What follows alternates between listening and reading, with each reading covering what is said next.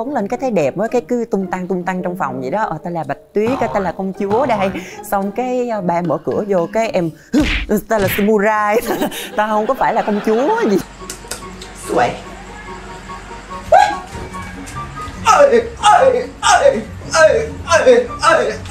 ba em hỏi là tại sao ờ, tập võ mà quấn mấy cái mền em mới kêu không người không cũng uh, hơi thích bạo lực trong chuyện đó.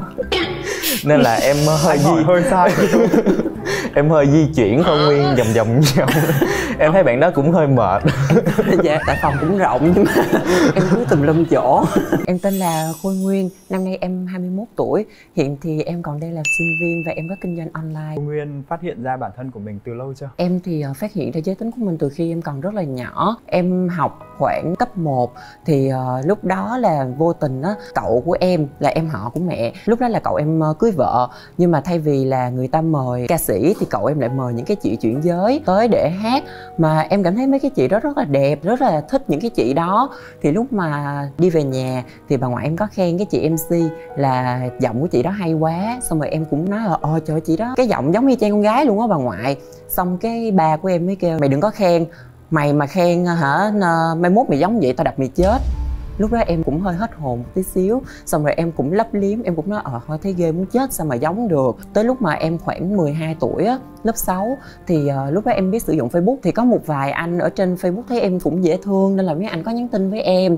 Xong rồi em cũng ờ, trả lời nhưng mà là những tin nhắn trong sáng thôi. Thì ờ, lâu lâu cũng mà ờ, anh nhớ em hoặc là em cũng kêu là trời em cũng nhớ anh quá. Vô tình ba mẹ em. lúc đó là em đã thích cái cái bạn trai đó lần đầu tiên hả Dạ là em có cảm tình, em chỉ biết qua Facebook thôi á chị. Em thấy anh cũng đẹp trai thì em cũng nhắn tin qua lại cái kiểu. Xong rồi ờ, lúc mà ba mẹ em phát hiện thì ba mẹ em rất là gay gắt. Sao mà ba mẹ em phát hiện được? Dạ tại vì uh, lúc đó em sử dụng điện thoại thì uh, còn nhỏ nên là ba mẹ em hay kiểm tra. Ba mẹ em phát hiện ra rồi ba mẹ em tịch thu luôn điện thoại Là em phải cắt đứt liên lạc với lại uh, cái anh đó. Từ lúc đó trở đi là ba em bắt em là phải cứng rắn lên không có được yểu điệu nữa. Nên là ba em bắt em phải đi tập võ, phải chơi bóng rổ. Mà em học bóng rổ là do em không có cái lực để mà ném bóng, nên là em không bao giờ mà em ném vào rổ trái nào hết trơn á. Có một cái bạn đó bạn đó cũng là trai thẳng, bạn đó cao lắm.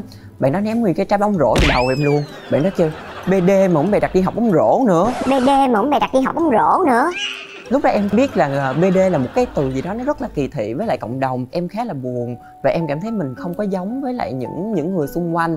Và em cũng cố gắng để có thể tiếp tục học những cái môn thể thao để cho ba mẹ em không có định kiến với em nhiều nữa. Nhưng mà em cố nhưng mà em học cũng- được không? Dạ không em học không có được. Em cố lắm chỉ có nửa năm thôi em em đang nỉ ba em là ba ơi, cho con nghỉ đi giờ ba cho con đi học múa rồi con học chứ con học mấy cái này là con học không có được. Lúc đó là ờ, gia đình em đang rất là thuận lợi trong cái việc kinh doanh. Ba mẹ em thì cứ thấy em chơi với con gái tại vì trong quán có rất là nhiều ờ, chị nhân viên nữ rồi ba mẹ em thấy không ổn nên là ba mẹ em bắt em phải đi xét nghiệm hóc môn rồi bắt em phải đi khám tâm lý. Nhưng mà lúc mà vào xét nghiệm thì bác sĩ mới cười bác sĩ mới kêu là cái hóc môn á, nó không có ảnh hưởng tới xu hướng cái tâm lý của em. Nên là bác sĩ mới kêu là thôi đi về đi. Nhưng mà ba mẹ em thì khăng khăng là phải coi xét nghiệm coi phải có một cái gì đó để chứng thực cho ba mẹ em biết. Em là con trai á lúc mà xét nghiệm ra thì hóc môn em vẫn là hóc môn em bình thường chứ trong người em không hề có hóc môn nữ. Ba mẹ em lại đưa em đi khám tâm lý. Lúc mà vô bác sĩ tâm lý á, thì bác sĩ tâm lý nói á, do là em ở nhà em tiếp xúc quá nhiều với lại à, mấy dì mấy cô rồi em toàn là con gái ở trong nhà không nên là nó ảnh hưởng tới cái tâm lý của em. Bác sĩ kêu là do em bị tác nhân từ bên ngoài chứ không phải là em đã nhận thức được mình từ nhỏ là như vậy rồi. Nhưng mà bác sĩ lại nói như vậy xong ba mẹ em cũng nghe lời bác sĩ. Ba em bắt em phải tập huấn theo tiến độ của ba em á, là ba em bắt em đi ăn cơm sườn, ngồi cái ghế thấp như vậy nè, là phải banh cái chân ra, không có được ngồi mà bắt chéo chân như vậy đâu. Ba em phải bắt phải bệ vệ lên con trai là không có sợ cái gì hết đó trời, lúc đó em gọng đứt dây luôn á. Gọng đứt dây luôn sau khi mà bác sĩ nói về cái tác nhân ngoại cảnh như vậy á Dạ. thì ba của em có bắt em là không được tiếp xúc với các dì, các cô hay là không được chơi với các bạn gái nữa luôn không? Dạ có, ba em bắt em là đi vô tập võ là chỉ chơi với mấy thằng con trai thôi. Ba em kêu đánh cái thằng đó mà chảy máu mũi là ba em cho lên đê đê luôn. Nhưng, mà người ta khỏe lắm em sao đánh lại được? Em ờ, liễu yếu đài tơ xưa giờ rồi. Rồi trong thời gian đó em ở nhà em gồng em gồng sao? Thì cũng là một cái kỷ niệm rất là vui. Ờ, Lúc đó là em ở nhà em ờ, thích làm công chúa lắm chị. À, em thích quấn mền em quấn khăn quấn màn đồ đó. Rồi em làm lọ lem em làm bạch tuyết em chơi trong phòng. Em chơi có mình em mà. Xong rồi cái bị ba mẹ kiểm tra đột xuất. Cái ba mở cửa ra sao cái khóa cửa lại? Dạ tại vì em không có nhớ để em khóa cửa. Xong cái em mê đang- làm gái mà quên hả? Dạ mê quá cái quên luôn. Xong cái quấn lên cái thấy đẹp á cái cứ tung tăng tung tăng trong phòng vậy đó. Ờ ta là bạch tuyết cái ta là công chúa đây. Xong cái ờ, ba mở cửa vô cái em ta là samurai. Ta không có phải là công chúa gì đó đó là em phải cố gắng em gồng lên. Ba em hỏi là tại sao ờ, tập võ mà quấn mấy cái mền? Em mới kêu không con giống như phim trưởng vậy đó là người ta trong phim trưởng người ta hay mặc đồ như vậy cổ đó. trang. Lúc đó là em cắt đầu đinh. Em không có được để tóc em cắt đầu đinh luôn. Em đi học là em phải mạnh mẽ. Lúc ở trường thì thì không có ba mẹ thì em như thế nào với mấy bạn cũng được. Nhưng mà lúc mà về nhà rồi á thì giọng nói cử chỉ thái độ của em cho tới cách em cười tới cách em ăn thì em cũng phải như một người con trai sau khi mà được đi khám bác sĩ tâm lý với lại đi xét nghiệm thì em quyết định là thôi em trổ bóng luôn cho rồi đi. Trổ bóng luôn cho rồi đi. Chỗ bóng là lộ lộ luôn hả? Dạ đúng rồi. Bụng nẹp đó phải không? Dạ bung nẹp đó. Em mua son tin về rồi em mua gương. Rồi đi học là em đánh lên tí xíu cho sắc môi em hồng cho nó đẹp đẹp tí xíu. Mẹ em vô tình mẹ em phát hiện ra lúc đó mẹ em thấy trong cặp là có cái cây son đó với lại cái gương. Cái mẹ em mới hỏi là cái này của ai xong rồi cái em mới kêu là có bạn kia bạn bỏ quên con con cầm về giùm bạn. Mẹ em mới quăng một cái xoẻn xuống đất. Mẹ mới kêu là từ nay về sau ai mà bỏ quên cái gì? Mẹ cấm con không có được cầm về nghe chưa? Rồi uh, sang ngày hôm sau em kể chuyện cho cái chị mà làm trong quán của em á em mới kể cho chị đó. Chị đó chị mới kêu á chị nói thiệt với em nha con gái á mà mặc đồ con trai thì người ta kêu cá tính còn con trai mà mặc đồ con gái thì người ta kêu là biến thái mặc đồ con gái thì người ta kêu là biến thái. Mà lúc đó em đủ nhận thức để em biết cái từ biến thái nó là cái gì và em nhận biết được bản thân mình không phải là một kẻ biến thái. Em cảm thấy nó rất là nặng lời đối với em, nên là tổn thương rồi từ đó là em không dám chia sẻ với cả người ngoài rồi với cả ba mẹ em người trong gia đình em cũng không dám chia sẻ cho tới tận bây giờ luôn. Em cũng muốn thông qua chương trình để mẹ em có thể hiểu em hơn. Là đến bây giờ em vẫn chưa come out trực tiếp với mẹ của em luôn hả? Dạ em ờ, có comment với mẹ bằng cách là em viết thư cho mẹ. Em nói là mẹ ơi bây giờ giới tính của con là như vậy Mẹ có thể chấp nhận được con hay là không? Em viết ở đó xong rồi em để trong phòng cho mẹ Để mẹ em đi làm về mẹ em đọc. Thì lúc mà em đi học về thì mẹ em chưa có làm về. Em thấy ờ, lá thư thì mất tiêu rồi. Em cũng ờ, thấy thái độ của mẹ em rất là bình tĩnh Rất là bình thường đối với em luôn. Em không biết là lúc đó mẹ em đọc hay chưa Mà em cũng không biết là cảm xúc của mẹ em lúc đó như thế nào. Thì đó là cứ im lặng mẹ em ờ, ngầm chấp nhận em cho tới thời điểm hiện tại luôn. Tại vì chị nghĩ là mẹ em đã biết từ, từ lâu rồi. Dạ đúng rồi. Nên khi em viết lá thư đó là giống như em đã khẳng định lại là em là người như vậy. Dạ. Mẹ em không thể là biến đổi em thành một người bình thường được. Dạ. Nên mà và mẹ em đã đã hiểu được là em đã là như vậy rồi nên Dạ. mẹ em sẽ không sốc nhiều. Dạ. Cứ hiểu không? Sau đó em có nói thẳng với em là tao thấy mày là hết thuốc chữa rồi tao không có đứa con như mày không có đứa con như mày? Một năm sau thì à, ba mẹ em chia tay. Mãi cho tới tận sau này em cứ nghĩ cái lý do chia tay của ba em là do ba em có người phụ nữ khác. Nhưng mà mẹ em sau này thì mới nói với em á ba em bỏ mẹ em là bởi vì ba em cảm thấy không dạy được em và ba em muốn có con trai chứ ba em không có muốn có một đứa con mà trai không ra trai gái không ra gái như em. Đó chỉ là một lý do dạ đúng rồi. Chứ nếu tình yêu đủ lớn chuyện đó đâu có phải là cái chuyện mà trọng tâm để mà chia tay không ở với nhau đâu khi mà nguyên biết cái lý do mà bố mẹ chia tay nhau á có bao giờ em tự đổ lỗi cho bản thân mình không Dạ có, em tự trách bản thân mình rất là nhiều tại vì tại vì có nhiều lần á em chứng kiến cái cảnh mà ba em đánh mẹ em là vì em. Ba em nói là do mẹ em là không biết dạy em để em trở thành một con người như vậy là con hư là tại mẹ. Con hư là tại mẹ. Em cũng không có dám khóc trước mặt mẹ tại vì từ đó tới giờ thì hai mẹ con ít khi nào mà chia sẻ với nhau lắm. Nên là em thấy mẹ em như vậy em rất là thương mà em cũng không không biết là phải an ủi mẹ như thế nào. Mãi cho tới tận bây giờ thì em mới biết là mẹ em chấp nhận ly hôn ba em lúc đó là bởi vì mẹ em sợ cho em á. Mẹ em sợ là ba em sẽ làm những cái việc nó nó còn tệ hơn là là là lúc đó nữa. Mẹ em làm tất cả mọi thứ là vì em nên em rất là thương mẹ. Bây giờ mẹ em ở đâu?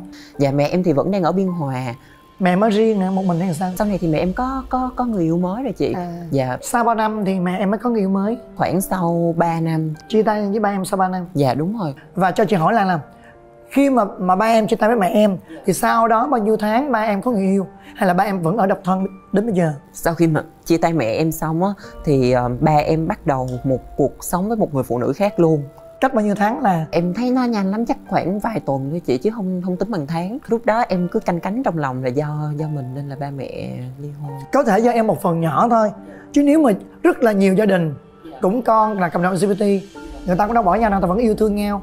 Chẳng hạn như ba mẹ chị Dạ. rất nhiều người đó đang rất hạnh phúc rất là thương nhau. Nếu mà tình yêu lớn thì những cái chuyện gì cũng vượt qua được hết. Tại vì con mình sinh ra mà đâu có ai muốn điều đó đâu. Bản thân mẹ em không không muốn điều đó. Dạ. Thì chị nghĩ đó là chỉ là một cái lý do để mà chia tay mẹ em thôi. Dạ. Là bây giờ ba mẹ ba em có con con có con với vợ sao chưa? Dạ chưa ba em vẫn chỉ có một mình em thôi.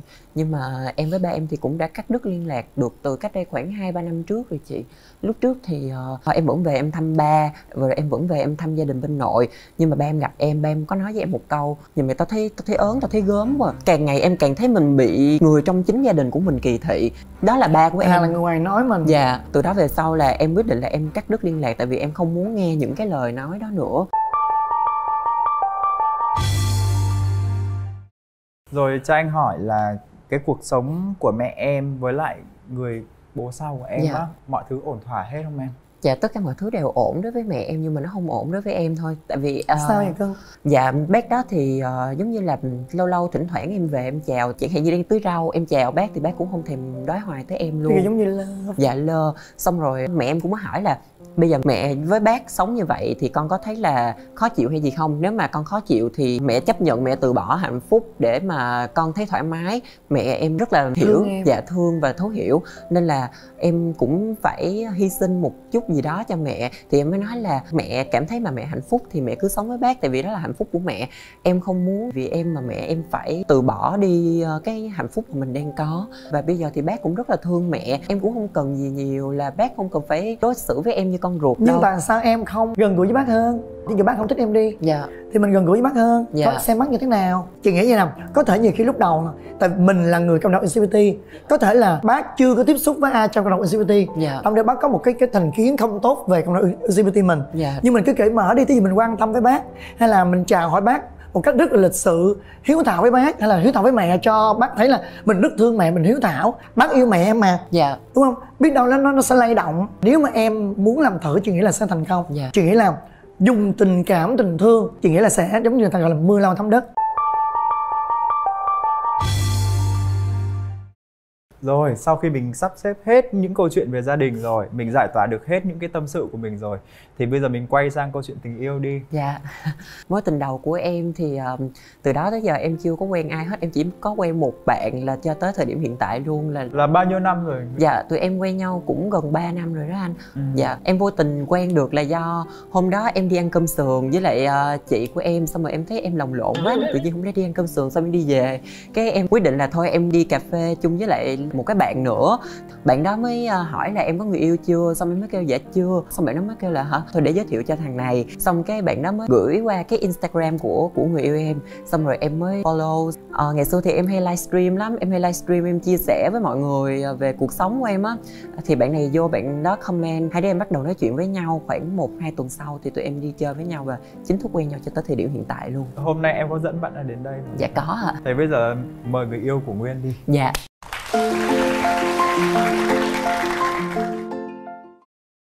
em giới thiệu về mình đi cưng Dạ, em tên là Thái Tân, năm nay em 21 tuổi, em đang học chung ngành với à, Khôi Nguyên và kinh doanh chung luôn.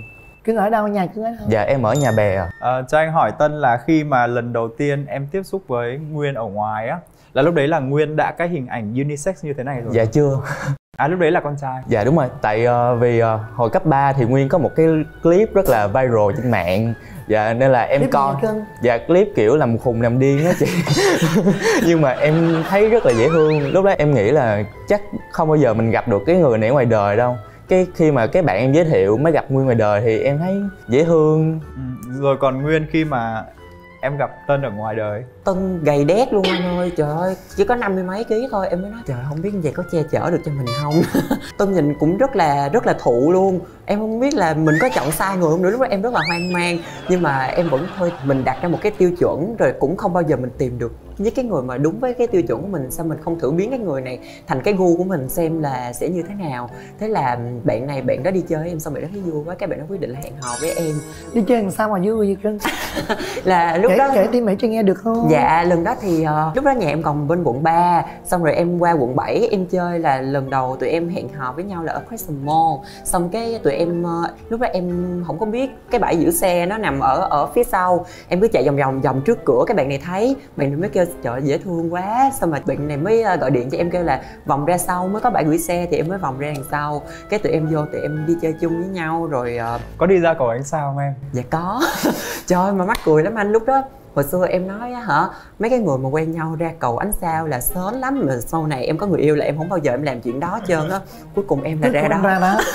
Lúc đó là hai đứa chưa có nhiều tình cảm gì với nhau. Thì khi mà tiếp xúc trong một hai tuần đó thì cảm thấy hợp nhau. Lúc đó thì không biết cái giai đoạn đó thì em lại thích make up. Nhưng mà không nguyên thì lại không thích chuyện đó. Sau khi quen một hai tuần á thì không nguyên mới nói là anh ơi em thấy anh ờ, hơi nhẹ nhàng quá.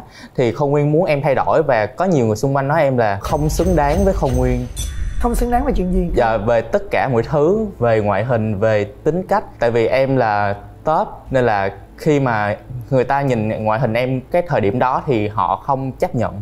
Dạ. Hơi yếu đúng không? Dạ đúng rồi. Em mới thấy là mình phải thay đổi nên là em mới bắt đầu em tăng cân và em đi tập và em mới thay đổi tính tình của mình. Dạ rồi có buông make up không dạ buông luôn đúng rồi top make up ừ. Dạ. đúng rồi người ta thấy cưng yếu đúng rồi Dạ. nhưng cho chị hỏi bao lâu hai người mới hôn nhau quen bao lâu mới có nụ hôn đầu tiên Đâu, một tháng á. Ờ, một tháng. một là- tháng mà dạ đúng hả? rồi. Dạ một tháng hay khoảng 3 tuần đó chị. Lúc đó là tụi em ờ, lên kèo đi chơi Vũng Tàu với nhau. Tụi em mới về khách sạn thì tụi em mới ờ, hôn nhau. Đó là nụ hôn đầu tiên. Xong rồi anh này mắc cười lắm. Bạn này hôn em. Hôn xong cái anh xin lỗi. Cái em nói, tự nhiên cái anh xin, xin lỗi là sao trời?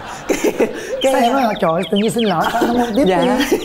Em cũng nói là trời tự nhiên cái xin lỗi cái mới kêu à, anh làm vậy có nhanh quá không? Xong cái em kêu không em thấy bình thường em thoải mái lắm không có gì là khó khăn đâu. Còn nói ra thoải mái nữa trời. Lúc lúc đấy hai bạn bao nhiêu tuổi rồi nhỉ? Dạ lúc đó lúc đó tụi em khoảng 20, 19 20 19, á. 20. dạ. Giờ đấy mà nhanh gì nữa em ơi. 19 20 mà ba tuần rồi đâu có nhanh đâu. Sao nó sao anh không em sớm một xíu mà nó không là cái, cái cảm giác nụ hôn đầu tiên nó như thế nào À, thực ra nụ hôn đầu tiên với người con trai thì không phải là với Tân mà là em hôn cái bạn kia năm lớp lá cái lúc buổi trưa cái bạn đó nằm kế bên em bạn nó hỏi hôn em cái em kêu hôn. Cái hai đứa bạn nó hỏi hôn em cái em kêu hôn. Cái hai đứa hôn nhau. Sao ngày xưa hôn dễ nhưng mà cái cảm giác đó lúc đó mình chưa có lớn nên là mình cũng ờ, thấy nó khác so với lại bây giờ bây giờ hôn nhau lúc đó em cảm thấy như có một luồng điện chạy qua người mình vậy á hừng hực trong người em á chị. Em cảm thấy Hưng phấn. hưng phấn. Dạ. Chị chi ơi. Sao nụ hôn đầu tiên của chị ở năm lớp mấy đấy? Nụ hôn đầu tiên của chị hả? hình như lúc đó chị tới ờ, gần 20 Ồ, chị có nụ hôn đầu tiên. Ngày xưa chị yêu người ta chị không dám dịnh người nữa em ơi chị thật ngây thơ nhưng chứ. mà khi chị dịnh rồi là chị dịnh hoà khi chị dịnh rồi là chị dịnh hoà chị dính luôn rồi là dính luôn. Rồi cho anh hỏi là em làm sao? hỏi là làm sao? Rồi nụ hôn đó. Nụ hôn đầu tiên em sao em hỏi chị đó. Dạ. Em trả lời thiệt lòng không có em hỏi chị chị không nói thiệt đâu. Chương trình này của khách mời mà chị không nhưng mà giờ lâu lâu chị em mình giao lưu có chuyện bình thường nhưng mà em cũng muốn biết. Độ nụ hôn đầu tiên đó. 19 tuổi. 19 tuổi. Ở ngay gần cầu ánh sao ờ đó vậy đi có ở sao? ngay cái hồ sen còn chị hôn nhau ở bờ sông ôi vậy chị cũng có sông nước giống tụi em. Rồi à, cái đêm mà mình ở vũng tàu đó em là mình chỉ chỉ hôn thôi phải không? Dạ, dạ không. không. Dạ, dạ không, không. Nó phải tiến xa hơn nữa. Anh tuân á là thích kể hết từ A tới Z. Dạ. Nên em cứ kể hết đi. Dạ. chị cứ làm như chị không thích ấy lúc đó thì um, em cũng thoải mái lắm. Em cũng uh, nằm đó muốn làm gì là làm. Chứ em em cũng không có tự tin lắm. Là em nằm im thế thôi á dạ em cũng có nương nương theo. Chứ nằm im vậy thì người ta ờ, dị nghị người ta nói mình ờ, em làm nằm em em im là em không có cảm xúc đó. Dạ đúng rồi. Sau cái chuyện đó xong thì hồi nãy nụ hôn là bạn này xin lỗi còn sau chuyện đó xong là cảm ơn. Mà em không biết sao bạn này rất là khách sáo luôn á tại vì tự nhiên cái hôm xong xin lỗi rồi ấy xong cái cảm ơn em. Cái em nói kêu trời ơi đi ngủ đi. Tự nhiên cái cảm ơn em cũng không biết phải trả lời sao. Cái em kêu thôi ngủ ngon. Mà cảm giác làm sao lần đầu tiên với lại người bạn yêu như thế nào dạ không lần đầu tiên của em thì ờ, với người khác còn với bạn này là lần đầu tiên là là là với người yêu. Nó khác với lại người ờ, trước đó tại vì mình có tình cảm với nhau thì ờ, bao gồm cả cảm xúc rồi bao gồm cả cái cái tình yêu của mình trong đó nữa. Rồi cho anh hỏi tân á. Dạ. Vì sao mình buông ra lời cảm ơn đấy? Dạ tại tại vì trong cái quá trình đó em là người cũng hơi thích bạo lực trong chuyện đó nên là em hơi anh hỏi di hơi sai em hơi em di hỏi đúng chứ sao? Em hơi di chuyển không nguyên vòng vòng vòng em thấy bạn đó cũng hơi mệt. Dạ tại phòng cũng rộng nhưng mà em cứ tùm lum chỗ. Nên là em cũng hơi mệt nên xong rồi bạn đó cảm cảm ơn em. Dạ. À là do vấn đề đó đó hả? Dạ đúng Dạ. rồi. Quá trời đất. Ngại quá. Ngại quá rồi sau đấy con làm tiếp không sau đấy phải tới ờ, tới cử. ờ, tới cử. Bao nhiêu ngày mới tới cử cơ em nghĩ chắc cũng phải ờ, một hai tuần. Sao lâu quá vậy trời? Kiểu mình dồn lại cho nó mãnh liệt á chị. Một hai tuần là lo, lý do là hai bạn lâu lâu mới gặp hay là vì hai bạn hát thích như vậy? Dạ cái thời điểm đó thì lâu lâu tụi em mới gặp. Dạ, dạ rồi. lúc đó là tụi em đều có công việc riêng nên là cũng hơi khó gặp nhau còn bạn ờ, giữ gìn sức khỏe để làm việc. Dạ đúng rồi. hai bạn đã ra mắt gia đình của hai bên chưa? Dạ rồi. Dạ rồi. Dạ nhà em thì đầu tiên bữa tối hôm đó là vì bạn em bị mất điện thoại nên em mới gọi con nguyên đó là ờ, em rảnh không qua tâm sự với bạn anh đi tại vì nó cũng buồn. Thì bữa tối đó thì về thì em nói với không nguyên là em dán gồng lên, tại vì mẹ anh bị tai biến mới hết. anh sợ. Xong rồi cái uh, con nguyên nói con nguyên cũng gồng cái xong rồi con nguyên nói chuyện với mẹ em con nguyên cứ vậy nè. Cái cái xong con nguyên vô con nguyên nói anh ơi, em gồng hết nổi bữa nay rồi chỉ một bữa thôi. Mà lúc đó không có ai mà gồng lên để làm con trai mà em vừa mặc áo hồng mà còn có trái dưa hấu nữa. Em em ngồng lên em nói chuyện nhưng mà em biết là mẹ tân phát hiện ra liền luôn. Dạ. Giờ mấy hôm sau thì con nguyên về chơi thì con nguyên có make up. Thì mẹ em chỉ hỏi là ủa mấy bữa trước mẹ thấy nó khác lắm. Lúc đó thì mẹ vẫn từ từ mẹ nhận ra. Thì tới lúc mà em quen không nguyên em mới uh, come out với gia đình em luôn. Không nguyên mới bài chuyện cho em là viết thư. Thì em cũng viết thư em để trong phòng em vậy á. Cái em gói đồ quá trời luôn. Em đem ra ngoài. Em suy nghĩ cách là làm sao để có thể trốn mẹ em đi ra. Cái mẹ em nhìn cái mẹ em ngó qua chỗ khác luôn mẹ không quan tâm. Cái tới bức thư đó tới lúc mà tới tối luôn mẹ em vô dọn phòng mẹ em mới thấy. Thì mẹ em mới gọi điện mà mẹ em khóc với không nguyên. Mẹ em nói là con ai mẹ cũng thương hết thì ờ, về đi mẹ nuôi. Dạ từ lúc đó là mẹ với ba em chấp nhận. Sau đó là em ờ, dọn đồ hết từ cũng nhà. suối người ta viết thư. Bà viết thư trước sao vậy bà, bà suối thì các bà các bà viết thư nữa tại vì tân thì là một người tự cô cô lập chính bản thân mình á, nên em quen tân là em muốn tân phải hướng ngoại mê một tí xíu. Ngày xưa tụi em đi ăn với nhau, tân kêu bún đậu, tân còn không dám kêu cái anh phục vụ để kêu món nữa. Em cảm thấy là tân nên nói ra những cái gì trong lòng của mình với gia đình để gia đình có thể hiểu. Thì à, em thấy nếu như mà nói miệng thì nó sẽ khó quá, thì em mới bày cho tân là viết thư. Thì tân mới viết thư cho mẹ của tân để mà mẹ tân hiểu hơn. Hai bạn sống chung với nhà ở của tân là bao nhiêu lâu rồi? Dạ tụi em ờ, về sống chung ờ, thì gần 2 năm rồi đó chị. Bây giờ vẫn còn ở chung hả? Dạ, Dạ, đúng, đúng rồi. rồi. bây giờ thì tụi em vẫn ở chung. Có một câu hỏi dành cho tân nó nó khá nhạy cảm nha. Dạ. Tại vì ban đầu em quen với khôi nguyên với hình hài là người con trai. Dạ. Khi mà em biết khôi nguyên quyết định trở thành một cái hình mẫu unisex thì nó sẽ cái cảm xúc của em nó có thay đổi không? Mới vô em hơi lo lắng một xíu tại vì em nghĩ là ờ, bản thân em là thuộc cộng đồng LGBT thì em sợ một ngày nào đó thì không nguyên lại thành một người con gái, Con gái. dạ thì em chưa có chấp nhận được việc đó. Nhưng mà từ từ thì không nguyên em thấy khôi, khôi nguyên ngày càng đẹp hơn ngày càng được nhiều người thích hơn thì em cũng cảm thấy vui và em chấp nhận điều đó. Nhưng em có bao giờ em suy nghĩ em muốn làm con gái không? À, Ờ, dạ ngày hồi còn nhỏ thì uh, có nhưng mà tới lúc mà em lớn hơn được rồi á thì em nhận thức được là trong cộng đồng LGBT người ta không chỉ có gay, les với lại chuyển giới không mà còn có rất là nhiều những cái khác nữa. Thì em chọn cho mình cái cách là mình vẫn là gay nhưng mà em theo cái phong cách là mình thích làm đẹp. Tại vì em rất là yêu cái đẹp em muốn mình đẹp hơn á. Thì thì em lựa chọn cho mình một cái cách phù hợp nhất với bản thân của mình. Tại vì anh thấy là ngay cả chính những người trong cộng đồng thường bó hẹp nhau bằng những cái hình ảnh nhất định. Dạ đúng rồi. À, cá nhân anh thấy thì mình cứ hạnh phúc với lại cái hình ảnh riêng của mình. Có thể nó độc lập không giống bất kỳ ai hết. Dạ. nhưng mà miễn là mình hạnh phúc cuộc sống của mình thì thôi chứ. Trong cộng đồng LGBT kỳ thị em bởi vì em nói em ờ, là thụ nhưng mà em lại y chang như là một người chuyển giới. Thì có rất là nhiều người người ta không có thích cái hình ảnh đó. Người ta không thích nhưng mà mình thích được rồi. Dạ, đúng rồi. người yêu mình thích mình là được rồi. Dạ. Chứ là mình sống cho mình đi. Dạ. Cái chuyện nghĩa là không bất cứ giới tính nào quan trọng là hai người cùng một cái trái tim cùng một cái cái sở thích. Dạ. Mình hòa quyện với nhau là mình sống với nhau được rồi.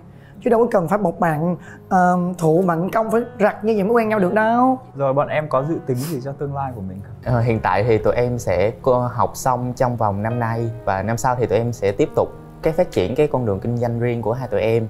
Và sau đó thì khi mà tụi em có vốn nữa thì tụi em sẽ bắt đầu xây nhà và nhận con chị nghĩ là cái cái cái vấn đề mà kinh doanh online nếu tụi em làm tốt làm giỏi á nó cũng là kinh tế chính cho tụi em luôn. Nói chung là đang rất là hot. Dạ. Nên tụi em gán tụi em kiếm những mặt hàng tốt tụi em bán. Dạ. Tụi em sẽ có nhiều khách hàng tụi em sẽ có kinh phí ổn định tụi em sẽ làm được nhiều việc. Dạ. Mà ước mơ tụi em chưa làm làm được tụi em làm mình sinh con nuôi hoặc nếu có tiền thì mình tụi ta nhân tạo Dạ. đó rồi có bao giờ hai bạn nghĩ đến một cái đám cưới nhỏ nhỏ? Bản thân của em thì em muốn là tới một lúc nào đó mà mình không đắn đo về chuyện tiền nong nữa thì em sẽ đám cưới và em cũng không cần khách. Dự tiệc của mình phải đi tiền hay là đi vàng gì hết. Em muốn là mọi người tới cùng chung vui với em cùng san sẻ niềm vui là được. Năm nay là năm dịch dạ. nên chị không có tổ chức lần hai lễ hội cộng đồng LGBT dạ. Năm sau là chị tổ chức lại lần hai đó tụi em muốn ờ, tham gia thì cứ đăng ký nha Dạ. cảm ơn chị dạ em sẽ đăng ký để tham gia